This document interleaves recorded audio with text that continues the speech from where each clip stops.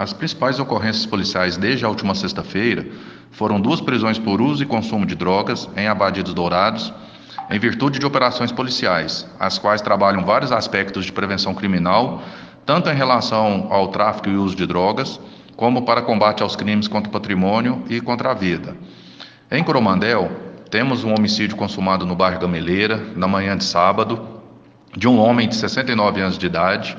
com a prisão dos três autores pela Polícia Militar, ocorridas no município de Vazante, sendo dois homens de 37 e 24 anos de idade, uma mulher de 23 anos, e apreensão da arma utilizada no crime, uma espingarda calibre 22. Ressaltamos que no momento da prisão, a mulher declarou aos policiais militares que a motivação do crime seria um desentendimento deles com a vítima que teria cortado um pé de manga no quintal da casa que estava sendo ocupada pelos três autores.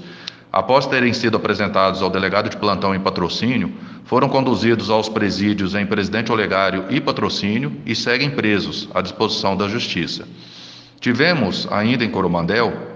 três ocorrências e prisões de pessoas, sendo uma por uso de drogas, outra por direção perigosa, é, uma motocicleta que foi surpreendida pela polícia militar é, empinando, sendo empinada né, pelo condutor, e uma por embriaguez ao volante, também surpreendido pelos militares fazendo manobra perigosa.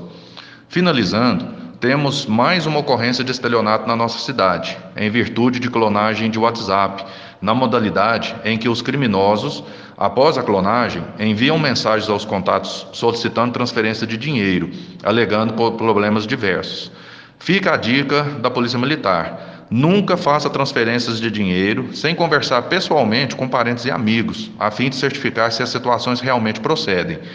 E tem que cadastrar o PIN de segurança do WhatsApp para dificultar a clonagem deste aplicativo. Se tiver algum tipo de dúvida, procurem pessoas que tenham mais facilidade com tecnologias, é, pois esses dispositivos de segurança que o aplicativo possui e outras boas práticas também, né, na utilização de e-mails, etc., é, eles viabilizam aí uma maior segurança e dificultar a ação dos criminosos aí em relação ao erário aí das, das pessoas.